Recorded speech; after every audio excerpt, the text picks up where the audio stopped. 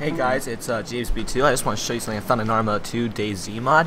I swear to God, I found this legit. I was just wandering around a military base. I believe it was near Kamenka, and it's the freaking, it's like a god box. I don't know if like a hacker spawned this in, but I um, took a Remington, and uh, I'm not sure what kind of pistol it is. I know it uses like uh, some kind of M17 ammo. I think I'm not sure. Um, I didn't take anything that great, like a sniper rifle that's high powered, because I kind of felt bad about finding it and being a douche about it. So anyway, I just wanted to show this finding out. Maybe I'll do some more Arma 2 videos when I get better at it. DayZ videos, I mean. So peace.